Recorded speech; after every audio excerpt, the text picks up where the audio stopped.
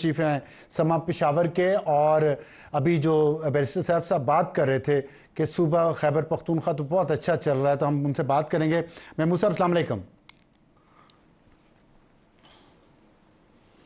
वालेकुम। सलाम सर। महमूद साहब सबसे पहले तो जलसे पे बात करना चाहता हूँ कि आप बताइएगा कि क्या बहुत लोग आए हैं क्योंकि बैरिस्टर साहब साहब ये तो मान गए हैं कि जलसा इसलिए ना, नाकाम हुआ है कि लोगों को आने नहीं दिया गया और लोग सड़कों पे फंसे हुए हैं। तो कितना क्राउड वहाँ खैबर पख्तूनख्वा से निकला और क्या क्या इंतज़ाम किए गए थे? इस पर थोड़ी सी रोशनी डालेंगे आप। जी, देखें अफसार साहब जैसे कि माजी में होता रहा है कि हर ऐसे इवेंट में एक हनी बी हुआ करती थी। वो जो कि शहद की मक्खियों की मलका हुआ करती तमाम शहद की मक्खियाँ उसके साथ जुड़ के चलती थी। ठीक। हाँ तो वो वो यहाँ पे इस बार खैबर पुख्तनख्वा में कोई नहीं थी। तो ये जो थे मतलब? सारे सारी तितर बितर हर कोई अपना अपना जुलूस लेके जा रहा था। वज़ीर आला हैं तो लीडरशिप ने नहीं नहीं ना मैं ये कह रहा हूँ कि आज आज आज जितने भी लोग आज जितने भी लोग जुलूस लेके आए हम्म, हम्म। वो सब अपने अपने जुलूस लेके गए। आप देखें मेरे पास इस वक्त एक लिस्ट है हजारा से अगर लोग निकले तो वो खुद पहुँचे जलसगाह पहुँचे। इसके अलावा मलकंड से जो लोग निकले मलकंड का तो आपको मालूम है जुनेद अकबर साहब वहाँ से अभी हमने वीडियो सोशल मीडिया पे देखी कि वो सबसे बड़ा जुलूस शायद वो लेके निकले थे। और ये वो लोग थे जिन्हें अली अमीन खान साहब और इनके लोगों ने निकाल दिया था कि ये हुकूमत के खिलाफ थे तो इमरान खान साहब की इजाज़त हाँ, मैं ये सॉरी आपको मैं इंटरप्ट कर तो रहा हूँ एक बड़ा जुलूस लेके आए उन्होंने भी जुनेद अकबर और शकील खान दोनों को जलसे में इन्वाइट क्यों नहीं किया गया?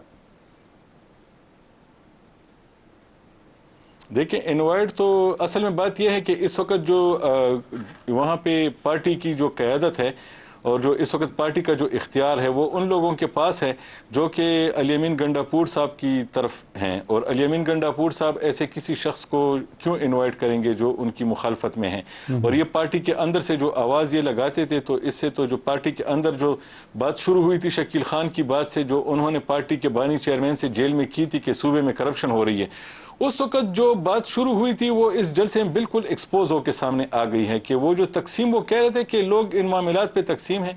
उस वक्त कोई नहीं मान रहा था, लेकिन आज हमने देखा कि किसी भी जुलूस लेके आने वाले ने, चाहे वो किसी भी डिवीज़न से हो, उसने ये इंतज़ार नहीं किया कि हम अपने जो सूबाई सदर हैं जो कि वज़ीर अला भी हैं उनके साथ जलसागाह में जाएँगे।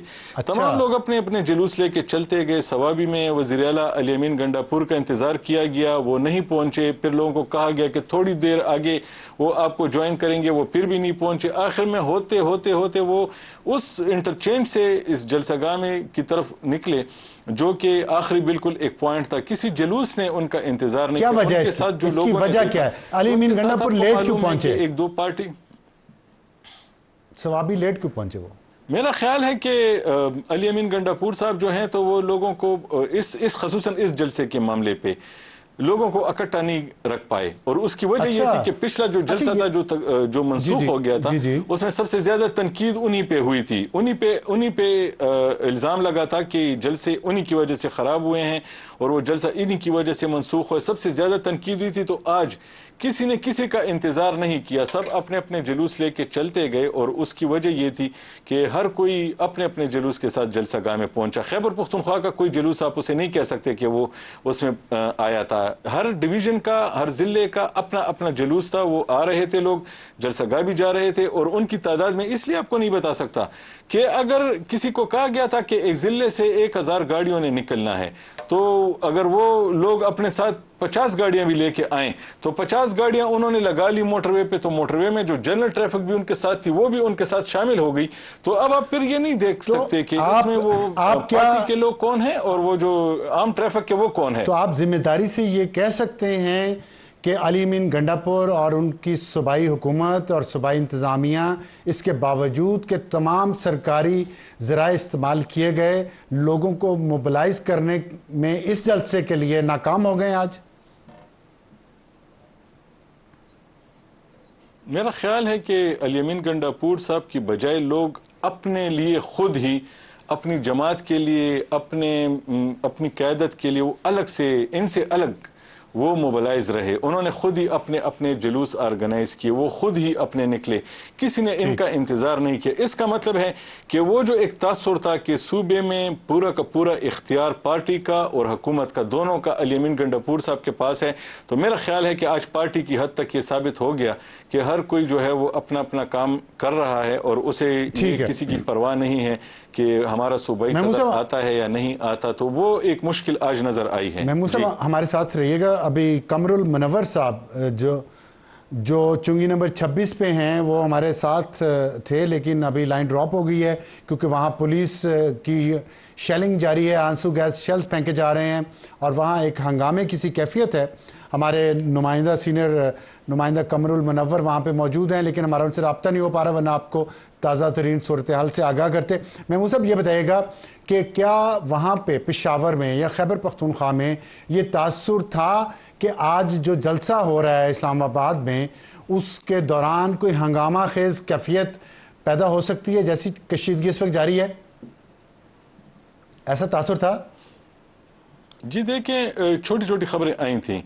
छोटी छोटी खबरें आई थी। आपको याद हो कि वहाँ पे जो एक हैंड ग्रेनेड का कोई वहाँ पे पीस मिला या जी, कोई डेटोनेटर मिला वो इस किस्म की खबरें तो आती रहीं लेकिन पिछले जलसे में एक और बात सामने आई थी जो कि इस जलसे में नहीं थी। पिछले जलसे में यह था कि लोगों को यह एहसास था कि अगर इस बार भी गए तो उनके ख्याल में जो 9 मई को इनके साथ हुआ था तो इनका ख्याल था कि उस जैसी कोई इनके साथ उन, इनके साथ कोई वो वाला काम होने वाला है।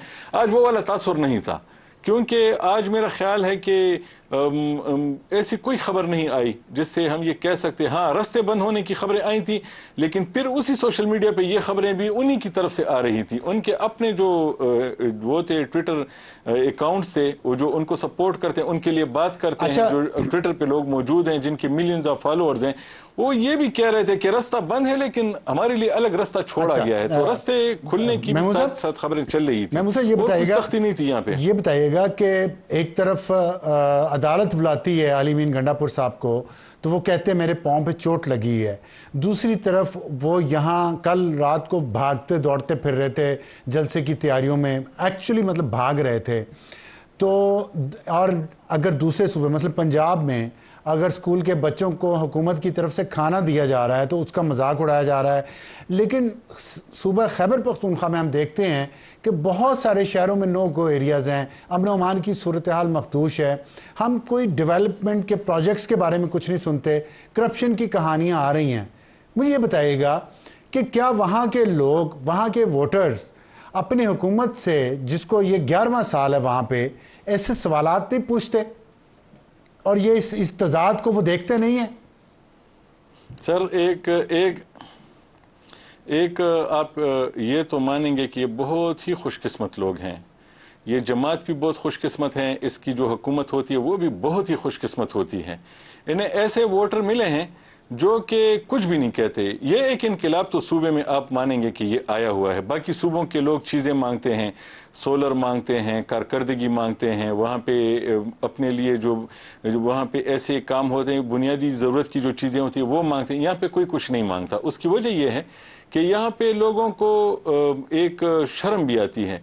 कि तीन बार हमने वोट दिया है अभी अगर शिकवा करेंगे तो फिर तो लोग कहेंगे ना कि ये आप ही ने तो किया था।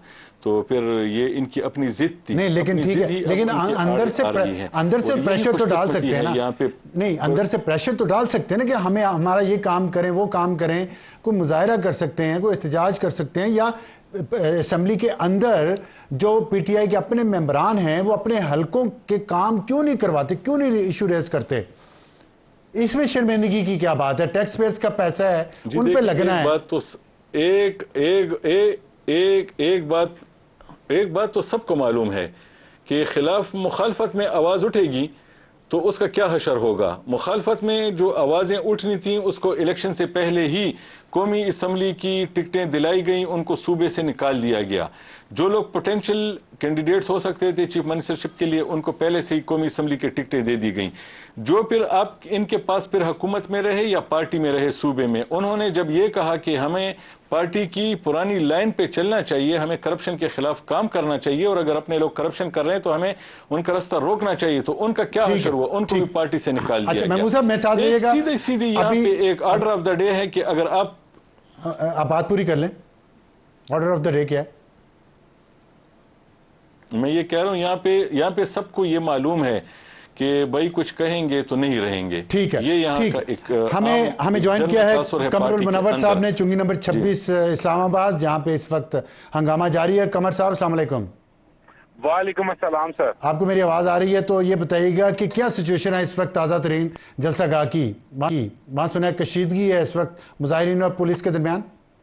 जी, बिल्कुल, जो 26 नंबर चुंगी है, ये एयरपोर्ट जाने वाला रास्ता वो और तीसरा ये जो 26 नंबर चुंगी से संगजानी लाने वाला रास्ता है, वहाँ पर पुलिस और इनके दरमियान जो है वो कशीदगी है, अभी भी मौजूद है।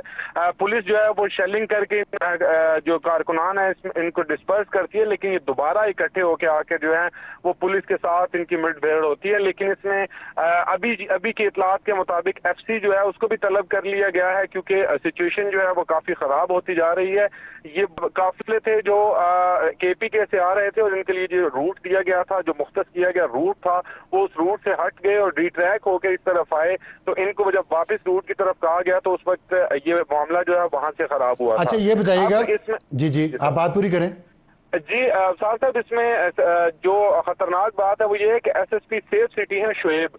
वो इसमें जख्मी हुए हैं, जबकि पाँच पुलिस एहलकार जो हैं, वो भी इसमें शदीद जख्मी हैं जिसपे वफाकी वजी दाखिला मोहसिन नकवी जो है, उन्होंने नोटिस लिया और उनका ये कहना है कि इस हवाले से मजीद प्रूफ जो हैं, वो मौका पर भिजवाई जाए। दूसरी जानब जो जख्मी हुए हैं, उनको अपने अस्पताल में भिजवाया गया भिजवाया गया है। वफाकी वजी दाखिला ने खुद फ़ोन किया जो एस एस पी हैं, सेफ़ सिटी के शुएब, उनसे उनकी बात हुई, उनकी उनकी उन्होंने खैरियत दरियाफ्त की और इसके बाद उन्होंने ये कहा है कि इनके जो इलाज मुआवजा है, वो सबसे अच्छी सहूलियात जो है वो उनको दी जाए। अच्छा ये बताइएगा कमर के ये जो पुलिस वाले भी आपने बताया पाँच पुलिस वाले और S S P Shoaib Khan जख्मी हुए हैं इसके अलावा मुजाहरीन के कितने लोग जख्मी हुए हैं या या वो जख्मी नहीं हुए?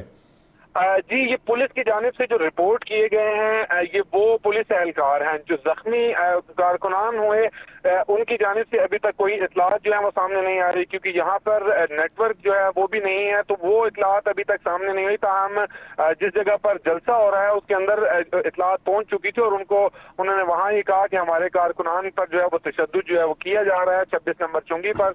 ताहम, अब जलसा जो है वो अभी तक खत्म नहीं हुआ और इस हवाले से डिप्टी कमिश्नर ने एक छह बजे इंटीमेशन भेजी थी और अब जो नोटिस कर दिया गया है डिप्टी कमिश्नर की जानब से, यहाँ पर जो मुंतजमीन थे आमिर मुगल उनको इस हवाले से नोटिस जारी किया अच्छा कि वो खबर आ गई है। वो खबर आ गई है। ये बताइएगा कि जो जख्मी हुए मुजाहिरीन क्या उनको खैबर पख्तूनख्वा से जो एम्बुलेंसेज आई हुई हैं और जो दूसरा दूसरे सरकारी जराए वहाँ पे मौजूद हैं उनकी तरफ़ से कोई उनको इब्तदाई तिब्बी इमदाद दी गई है? वो आपको वो एम्बुलेंसेज वहाँ नज़र आ रही हैं जलसा गाह में कि नहीं? जी अफसार साहब अभी तो जो जख्मी हुए हैं उनको पहले पुलिस लाइन हेडक्वार्टर ले जाया गया था यहाँ से और उसके बाद उनको पिम्स अस्पताल में मुंतकिल किया गया है क्योंकि हेड इंजरीज जो पत्थर लगने से हुई कुछ दो कांस्टेबल है उनको हेड इंजरी थी इसी वजह से उनको सिटी स्कैन और एमआरआई के लिए जो है मुंतकिल किया गया है यहाँ पिम्स अस्पताल में जहाँ पर उनको किसकी तरफ़ से किसकी तरफ़ से पहल की गई मुजाहिरीन की तरफ़ से या पुलिस की तरफ़ से? जी पुलिस का ये मौकफ है कि हमने सिर्फ़ रूट का तयन कराने के लिए इनको कहा था कि रूट का जो जो तय हुआ था उसी रूट पर आए जिसके बाद वो बजिद थे कि ये इसी रूट से जाना चाह रहे हैं क्योंकि जलसे का वक्त जो है वो खत्म हो रहा है और वो जलसे में पहुँचना चाहते हैं और इसी वजह से वो 26 नंबर चुंगी जो कि अच्छा। रूट नहीं तो इस वक्त जलसे में जलसे में तकरीर कौन कर रहा है? इस वक्त और कितने रहनुमा रह गए जिनकी तकरीरें नहीं हुई? जी अभी जो मेन खिताब है उसमें अली अमीन गंडापुर जो वज़ीर अला के पी के हैं उनका खिताब जो है वो बाकी है। इसके अलावा दो मेन लीडरान जो है उनके भी खिताब खिताबात जो हैं वो होने हैं। इसी वजह से जो जलसे का वक्त था वो तो सात बजे तक का लेकिन ये का- टाइम काफ़ी ऊपर हो दो गया कौन कौन से रहनुमा रह गए हैं अली अमीन गंडापुर के अलावा दो कौन से रहनुमा रह गए हैं जिनका खिताब अभी नहीं हुआ? अभी तक तो जो मुराद सईद का एक वीडियो पैगाम आया था वो चलाया जा रहा है अच्छा। और उसके बाद कहा यह जा रहा है कि अली अमीन गंडापुर जो है वो ये खिताब करेंगे इस हवाले से यहाँ पर जलसे के लोग। ठीक है हम आपसे दोबारा भी इस पे अपडेट लेंगे। कमर मुनावर साहब बहुत शुक्रिया।